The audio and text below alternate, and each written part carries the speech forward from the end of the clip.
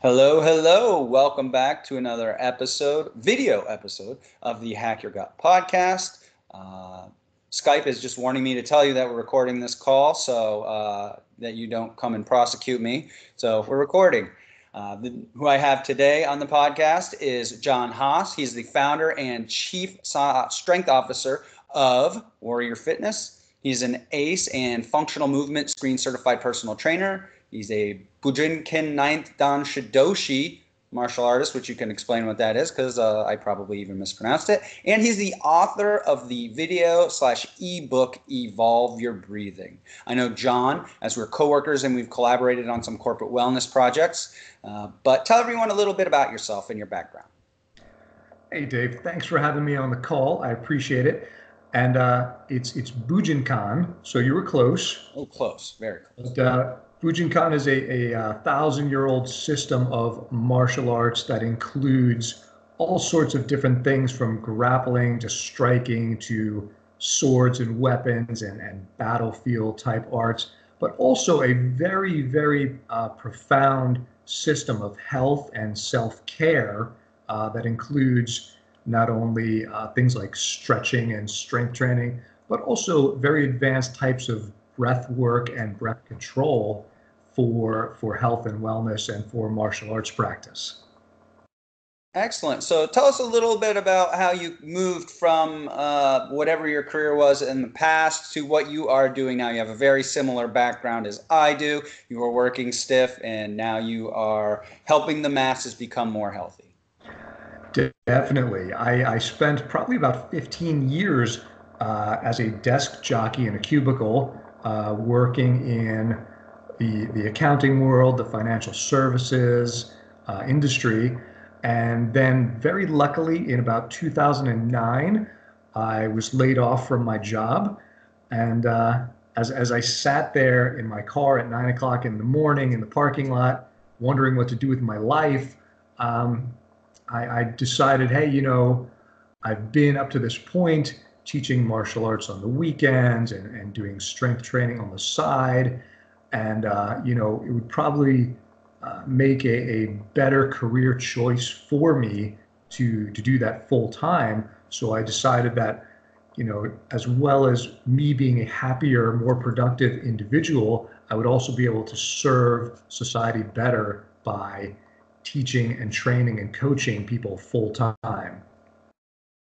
Yeah, same, very similar situation. Here. It's kind of funny though, like. Uh you know you move from the high stress work of working at a desk to absorbing the stress of all your clients. Uh, but you know in some respects you know it is stressful dealing with you know what we deal with on a day to day trying to get people to change things that they don't want to change. But at the same time it's also you know when you get you know even if you have a, a hundred people who don't listen when you get that one person to just click uh, it's super super rewarding and it makes you yeah it makes you feel really really kind of good Absolutely.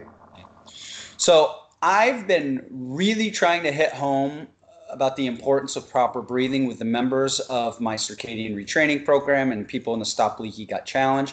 But to many people, it just seems odd that we would need to learn how to breathe again, how to relearn how to breathe. Talk a little bit about that just within the general population and some of your what experiences with clients and people who have uh, read your book. Sure, absolutely.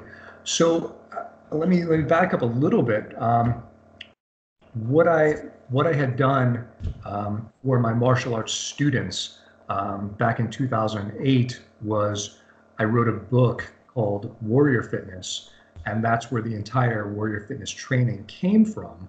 And within that book, I actually began the process of discussing how breathing is a very foundational practice and actually a skill that many people don't work on. Um, and yet, breathing literally underpins everything we do as far as our movement, as far as our health, um, and as far as our strength goes. So if you do not breathe properly, you cannot be said to to be a healthy individual. You cannot be said to be a strong individual, and you also cannot move well and whether you play a sport, you do a martial art, or just in, in general context of your life, you cannot move well, you cannot be as strong as you possibly can without understanding how critical breathing is to your entire um, human organism. Yeah, like it's. I mean, it's tremendously important for uh, everything with with regard to your health and your well being. Uh, and it's it's kind of the same thing. You know, you work with athletes and you know people doing martial arts and stuff. I'm generally kind of working with people who you know some of them are people who are relatively healthy. They just want to make sure that they don't get problems with their gut moving down the road. Then you get people who have these major functional gastrointestinal disorders, such as uh, irritable bowel syndrome or something, you know, something along that line, small intestinal bacterial overgrowth or GERD. And, you know, it really, really just underpins how important breathing is when you start dealing with people, whether they're kind of working you know, to improve their sport and you realize they're not breathing properly. But on the same end, when you're dealing with somebody who has a health issue, you know, and when you think of something going on with your digestion, almost you're almost always thinking about I need to take a pill to reduce the amount of acid I make, or you know, my gastrointestinal motility isn't very good, so I need to take something that will get the you know muscles in my small intestines to contract a little more to move things along. But you know, your kind of your warrior system for training athletes and martial arts. Is very similar to the kind of my thought process on working with people to improve their health simply because you can't look at digestion as just coming from your gut. I mean in fact when we think about breathing and the muscles involved with breathing they are surrounding your intestines. You, you know your diaphragm your, your abdominal muscles even the, the muscles in your mouth when you know when you chew or breathe. Uh, it's really interesting that there was a study a few years ago uh, where uh, they basically had people chew their food more and what they found was when they chewed more it increased the blood flow to their gut and it improved their digestion. And you know obviously that seems to be coming from the vagus nerve which is the kind of the conduit from the gut brain axis. The vagus nerve is also related to breathing. It serves the muscles of breathing, the visceral organs, including the gut. It plays a role in sensing inflammation and initiating an anti-inflammatory response to the gut systemic inflammation. And you know, there's so much evidence that proper breathing actually stimulates the vagus nerve somehow. We don't know how that happens specifically, but we just know that when people tend to begin breathing properly, their movement gets better, uh, they get less stressed. Kind of talk about what you see with movement and the stress patterns in your clients when they begin to breathe uh, better. Or, in, in fact, if you want to kind of give an example of what you see uh, is a, a dysfunctional pattern in your people. Sure, absolutely. So I think that, you know, going back to, to breathing in general, um, and why it's important for overall health, you know, we we kind of have to understand that breathing straddles both sides of the nervous system, right? We, it's an autonomic process. We don't think about having to breathe. You know, we don't have to remind ourselves, oh God, I have to take a breath. Otherwise, we die, right? Mm. So it is that it happens in the background without thought, without our involvement. And yet, we also have conscious control over our breathing. At any moment, we can choose to take a deep breath. We can choose to hold our breath. And those things, that conscious control over breathing, allows us to influence things like our heart rate, allows us to influence things like our blood pressure, allows us to have control over our stress response. And I think it's, you know, back to your initial question of why do people need to learn how to breathe? Well, do you want to be as healthy as possible? Do you want to have a lower blood pressure? Do you want to have a lower rate of stress? Do you want to be more relaxed uh, and calm in stressful situations? Then you need to learn how to control your breathing and how to uh, properly use that control to influence those things that sometimes seem out of our control. Um, you know, with regards to clients, one of the most popular things I ever say to them is breathe because they are holding their breath.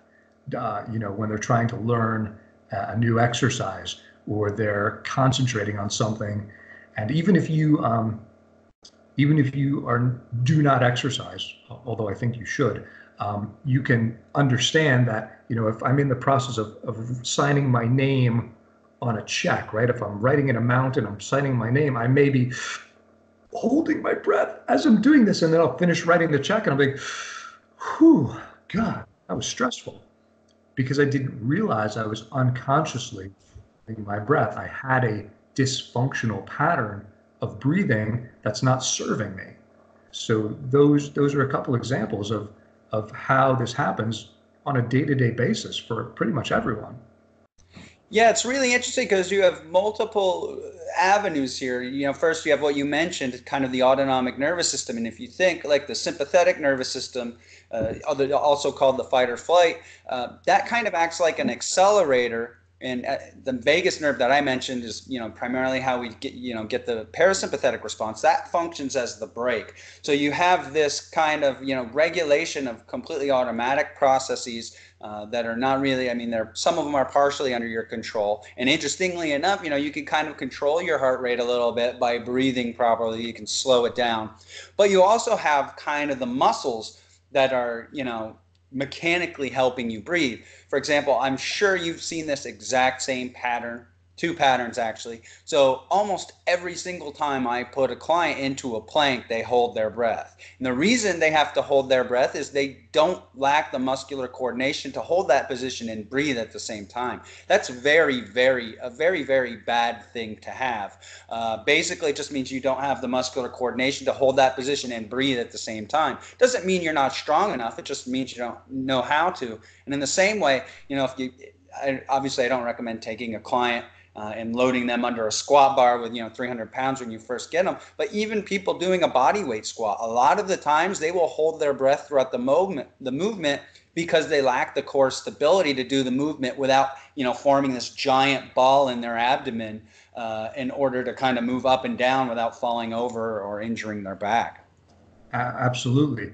And it's it's funny you mentioned the plank um, because i had a great experience yesterday in fact I, I teach at the uh, at the gym that we both work at. I, I teach a class called qigong, which is basically a system of um, Chinese energy work, and it involves mo- most of it involves breathing, breathing exercises.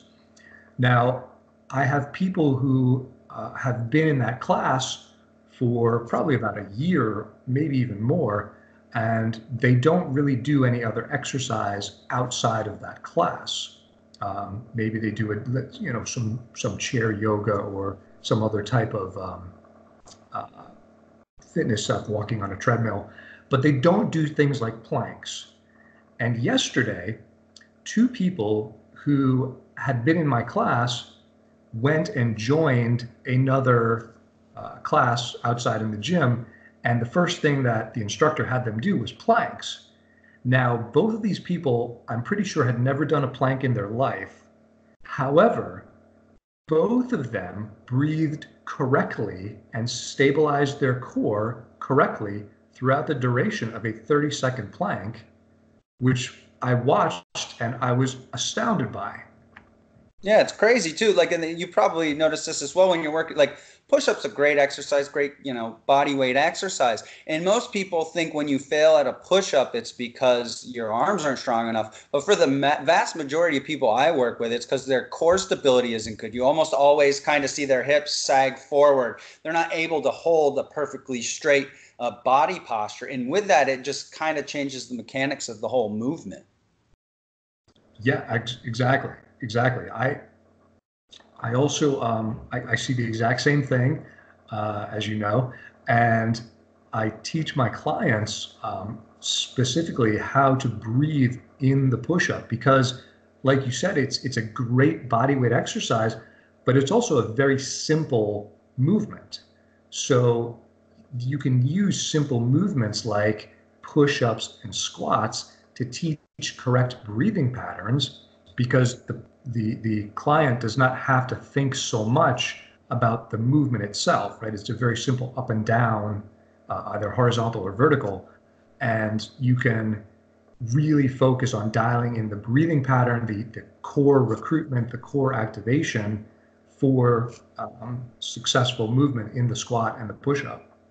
Yeah, precisely. And yeah, I don't like. Uh, I don't typically have clients hold planks for long periods of time. I think that's kind of overrated. Doing like 30 seconds at up and down and stuff like that is fine.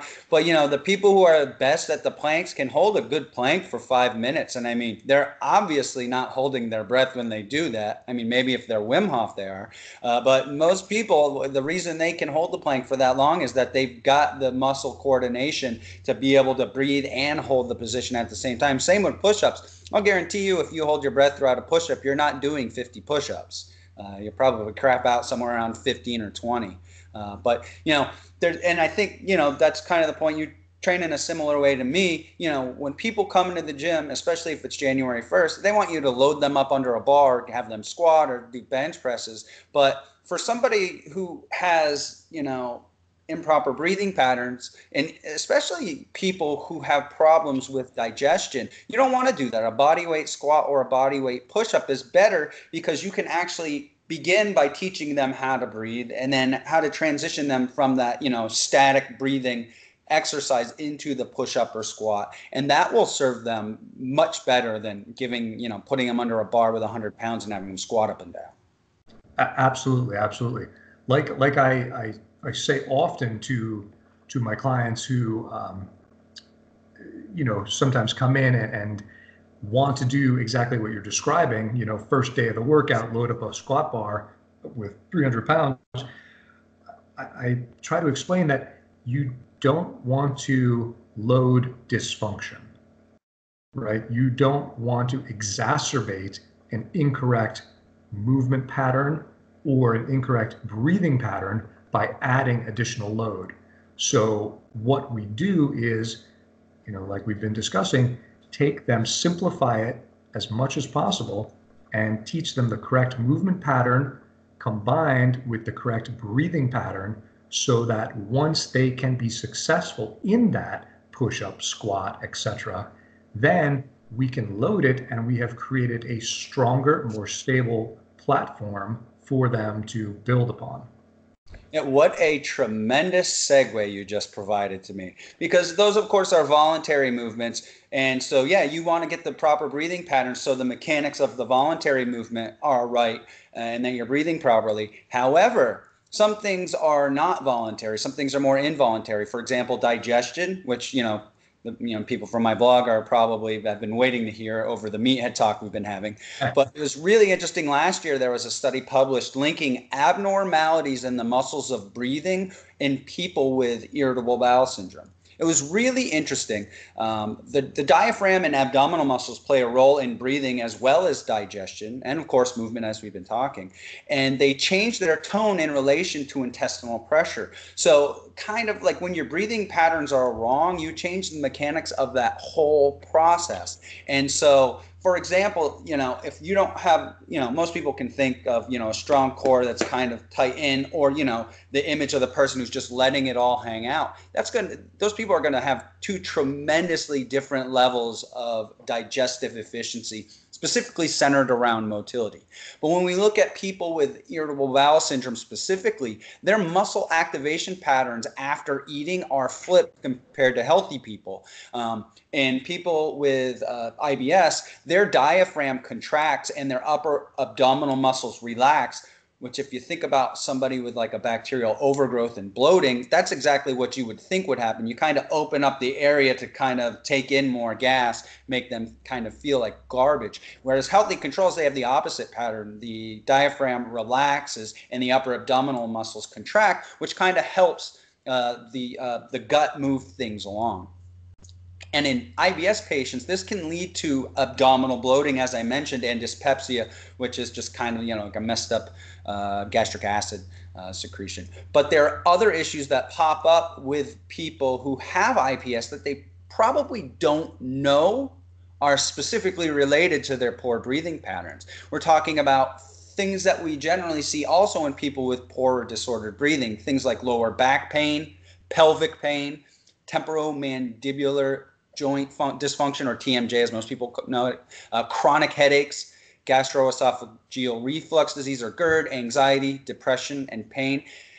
I'm sure you've dealt with clients over the many years you've worked uh, with that see these same issues that pop up in people with IBS. How do you see these things change with breathing exercises? You know, let's kind of take off teaching them how to squat and plank and all that stuff. Just you know, you get this person, they have lower back pain. You're obviously not going to have them squat until you correct that and add dysfunction or uh, add strength to dysfunction. Kind of explain what you see when you correct disordered breathing and those issues.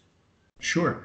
I, I um I had a client who had severe headaches, migraines um, for years, and also, funnily enough, had very dysfunctional patterns of breathing. So, over the course of working with her, as we began to correct those breathing patterns, chronic pain started to disappear. Uh, her she also was unable to to load up her squat because of um, low back pain. And as we worked on just working with the, the the breathing patterns and trying to correct those, her headaches began to disappear.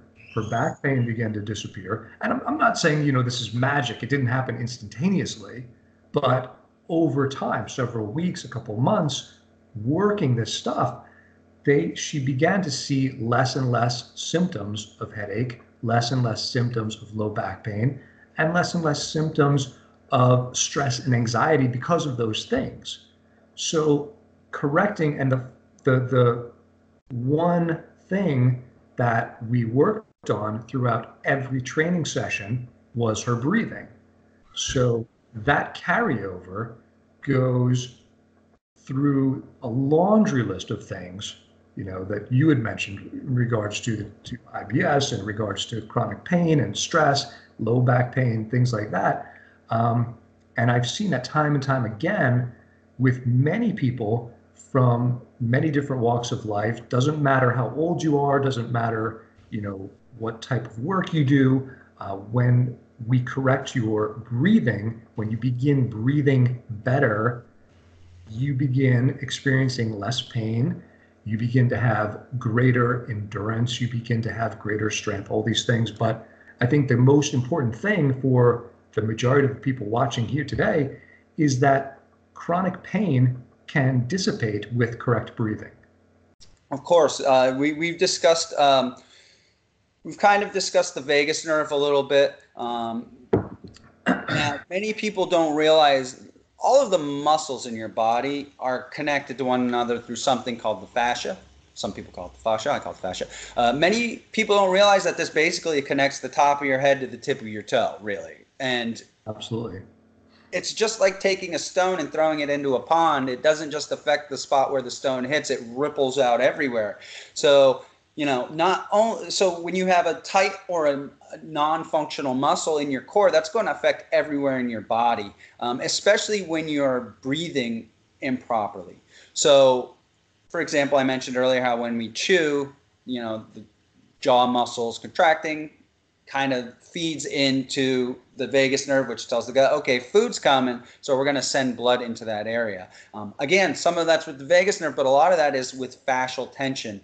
And so you know, dysfunction of the diaphragm can cause pain in many areas of the head, including the neck, jaw, and eye. And this is primarily through, you know, probably mostly through, some of it can be stress related through the vagus nerve, but probably primarily through this tension in the fascia. And when you have, you know, certain muscles that are just not working properly, or for example, with breathing, what we generally see is people don't use the diaphragm to breathe and they use the, the muscles of the chest and shoulders to kind of, rather than kind of bow the belly out and pull the diaphragm down. They basically just use the muscles of the chest and shoulders to pull the rib cage up.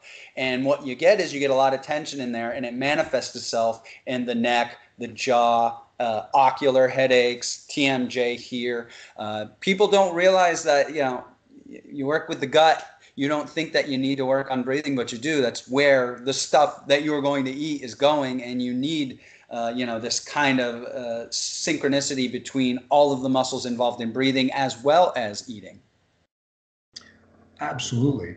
And, uh, you know, it's funny you mentioned fascia. Then as we as we learn more and more about this stuff, about the interconnectedness of the entire body, um, and we look at you know something like uh, a copy of Anatomy Trains, and we can see all of the fascia laid out and all the different layers of fascia and how they connect through the whole body. Um, if we take a look at a Chinese acupuncture chart from about 2,000 years ago, and we lay that on top of a copy of uh, anatomy trains from from today, they line up very very well, and it's amazing how they do. But it proves that you know we have this understanding of the human body and how everything is connected. And one of the things that they talk about very much in Chinese medicine, uh, martial arts, qigong, yoga, you know, any type of ancient art um, that works with health and strength, is the importance of breathing and how that connects to everything you do. So when we look at, you know, how does this, you know, having a, an issue in I'm holding my gut as if you could see it. Um, I don't think you can. but having an issue in your gut um, is going to affect something like your jaw, or having tightness in your gut is going to affect um, chronic pain. You know, we look at the fascia like you have a, a, a snag in your sweater, right? It's like you're pulling something, and as you pull it, it pulls throughout the entire length of material. So when you have a, a knot, a tightness inside the, the gut, it's pulling through the length of material that you know can be over up here into your head, all of these things. So when we work on uh, creating these proper breathing patterns, we not only fix the issue, the local issue, but we fix the issues all the way along the chain and that's the important thing I think we need to understand. Yeah, and it kind of goes back to what you said, where it's not like you just start breathing today and tomorrow you feel better. You got to build up those muscles. You have to change the tension in the fascia, and that doesn't happen overnight. One of my uh, one of my favorite illustrations of how important the fascia is in terms of how it affects everywhere throughout your body is, you know, if you take somebody and you have them roll a tennis ball on their foot for a minute on each or first you have them touch try attempt to touch their to- toes if they can. If not you know their attempt is good enough. Then you have a roll a tennis ball on um, uh, one foot and then the other and then touch their toes again almost all the time these people get four or five inches deeper. Some people go from their mid shin to being able to touch the floor. That's kind of an illustration of how important the fascia is. And for the most part it's my opinion that for most people, restrictions are in the fascia rather than the muscle. But if your muscles aren't working properly, you have to address that, or you're not going to something as complex as breathing, which we don't think about. If you don't fix the muscles, if you don't get the muscles activated that need to be active, and you don't get the, the muscles that kind of need to relax and allow length while you're breathing. If you don't fix any of that, you're going to be stuck into this kind of upper chest breathing um, that, you know, it's funny that you mentioned traditional Chinese medicine and stuff like that. We like to poo poo that stuff, but you know, they had thousands of years to kind of come up with this, and they weren't watching the Kardashians. So they came up with a fairly good model. Certainly, they couldn't explain everything, but you know, it, it's not odd to me now that they're finding things like yoga and meditation are highly beneficial uh, to overall health and well-being and fighting you know many of the chronic diseases people are seeing today Definitely, definitely. And if you, you know, if you take that a step further, I think um, earlier when we were talking about breath holding, you mentioned Wim Hof, and um, when he is he is definitely somebody to watch in the in this space because he not only has the background of the traditional yoga and martial arts, but he has the most current up to date research on breathing and wellness and looking at how um, breathing affects the entire human organism and he you know he's been studied by some of the best guys on the planet um, putting him through putting him through the the uh, the uh, ringer, you know, to to make sure that he, what he says and what actually happens are are the same. So I think that's you know a good indication that um, of research supporting these ancient um, traditions of health and wellness. Yeah, it's great. You know, I'm a guy. I want to know why, but if I know what, I don't necessarily need to know why now. You guys can hash that out. I don't think there's there's a shred of evidence that says breathing properly doesn't work. I mean, everything I've seen, it's just this is great. You need to work on this. This is great. You need to work on this. Don't necessarily have you know the the, the I's dotted and the T's crossed, uh, but it it definitely seems like it's a high bang for your buck thing to do. I mean, even just kind of going back to the gut stuff a little bit. Um, there's a link between you know the diaphragm and gastroesophageal reflux disease or GERD, in hmm. that there's an area of the um, diaphragm called the crura. And this was actually studied. I'll, I'll reference all the study uh, studies probably on the YouTube page. And so basically, what they did was they looked at the symptoms related to GERD in people before and after working on diaphragmatic breathing and kind of training this crura to it covers the lower esophageal sphincter, which is what's dysfunctional uh, in people who have GERD. And what the study found was there was a dramatic drop in the number of symptoms in these people simply by training the diaphragm to work properly and to maintain closure of that lower esophageal sphincter.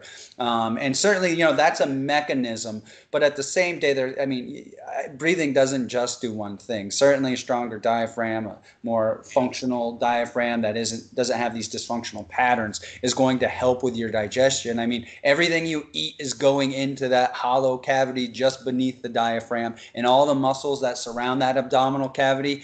You absolutely need proper contraction of those muscles when you eat. Otherwise, you're going to have dysfunctional um, dysfunctional digestion, dysfunctional uh, motility, and such. So, you know, I don't want to kind of sway too far away. We want to get back to your book, so I'd like to I'd like you to kind of share share a little morsel, maybe a uh, a little breathing exercise that you think is something that can kind of get people to kind of, you know, get this, you know, we talk a lot about the mind body connection, just to get them to realize how disordered their breathing may currently be. Do you have any sort of like uh, example exercise or test that you do with uh, clients to just get get it kind of connect with them?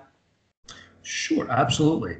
Um, I think that one of the important things that we need to realize as far as stress reduction goes is that inhalation is a somatic trigger to actually raise your blood pressure. And exhalation is a somatic trigger to lower your blood pressure. Now, you can do this very simply if you choose to inhale, if you, you know, count your, check your pulse rate, right? However you do that. If you got a heart rate monitor, if you do it old school, you know, one of these, um, you can check your pulse rate. You can inhale, hold your breath, and you can feel it elevate. And then wait a couple seconds, exhale, and relax after exhalation and feel that lower. And you can distinctly feel the difference between the two. Now, you may have to do it a couple times to get the result, but it's a very quick and easy thing you can feel. You inhale, you hold your breath, and you can feel the tension building. You can feel your shoulders maybe start to elevate. You can feel your chest start to tighten a little bit, and you can feel your pulse increase, and you can feel that pressure build. And as you exhale, relax and feel it lower and feel the tension dissipate. Feel your center of gravity sinking. Feel your body relaxing. You can tell, okay, I've just created this response in my body. I've created a relaxation response. And it's a very quick and easy thing to do. And you can do it anytime you choose. That's the power of breathing. Yeah, and it gets you to focus on it as well, which you know is one of you know uh, with the mindfulness meditation, you, are supposed to pick something to be mindful of that's in the here and the now, not in the past or the future, and uh, that's kind of a, a, quick way. You know, every day, you know, if you're not kind of feeling uh, you, you, feel like you're stressed out to kind of do that and then just kind of bring yourself down. Um, yeah so uh, this has been great. So we have your book evolve your breathing and um, we can look at that at www.warriorfitness.org correct? Correct. Uh, do you have anything else? I know you have a dad strength book. There's not a lot of dads. It's primarily um, uh, well, there are actually getting becoming a lot more fathers uh, involved with this gut problems because it's actually we're on a downward spiral in general. But uh, for the most part, more people are seeing the problems with their gut. But we're generally seeing uh, mostly women who are having these issues, but also men. Do you have uh, some other programs dealing with exercise uh, or even stress management? Absolutely. Um, I have a um, entire program on qigong uh, called the Yin of Strength. So it's basically working on how to improve your your breathing. Uh, it also works on how to improve your mobility, your relaxation, and it's a, a comprehensive energy work program. So that's called the Yin of Strength, and that's also found at warriorfitness.org. So that combined with the Evolve Your Breathing is a very powerful resource for stress management and uh, for breath work in general. Yeah, it's funny. Uh, I actually meant to mention this earlier. I've gone to just one uh, yoga class, uh, but I've done a bunch of meditation uh, dealios, and it's so funny when you get you can tell just kind of the stressed out people that get into these things, and even in some of the corporate wellness, when these people sit down and either do yoga or they get into the mindfulness stuff, all of a sudden you just hear all sorts of noises coming out of their digestive tract and it, it's almost as if uh, you know i said the vagus nerve work you know the fight or flight acts as an accelerator and the vagus nerve acts as a brake but it's actually the opposite with the gut. So once you kind of activate that vagus nerve improve breathing what ends up happening is you generally get more activity in the gut. You kind of get more of the gurglies and such and it's just really interesting uh, I mean, next time you're in a yoga class or any sort of class where it's quiet uh, and you're just kind of all, which is normally what you see in these relaxing classes, all of a sudden you just kind of hear the gurgling and such. Um, sometimes you feel or you hear some uh, flatulence as well, which, you know, I generally try to stay in the front of the class for that purpose. But um, it's, it's just really interesting that we see these kind of gurgling noise. It's almost as if these people probably haven't digested their food in a month, and now that they're getting to relax, they're catching up on things. So, thank you very much. Um, I also actually I think I, I saw on your um, uh, on, on your website you do bundles and stuff. So, uh, is there some sort of benefit to bundling programs together? Uh, I think I can't remember. Was it fifty percent off if you throw in the, the qigong and the uh, breathing? I, I, I can't remember exactly what it was. Absolutely. I think there's um I believe there's a bundle with the the qigong work, the uh, the mind body stuff, and you probably get 50% off when you get uh, all those things together. Okay. But yeah, I, I I would have to double check that as well. Okay, cool. Yeah, uh, I was actually I had to get uh, all the things I mispronounced uh, at the beginning of this episode out. So I, I, was skimming your site for a little bit. So thanks a lot for co- coming out, kind of talking about uh, your Evolve Your Breathing program. And uh, if you have, do you have anything else to say or? No, this has been great. Thank cool. you so much for having me. And uh, you know, if any of your your people or anybody watching has any questions, please feel free to reach out. You can find me all over social media or the website and happy to help, happy to answer any questions. And uh, again, thank you so much, Dave. You're welcome. And that is Jon Haas, H A A S, and Jon J O N. Thank you very much, Jon. Uh, I'll see you tomorrow. Sounds good, man. Take care. Bye bye.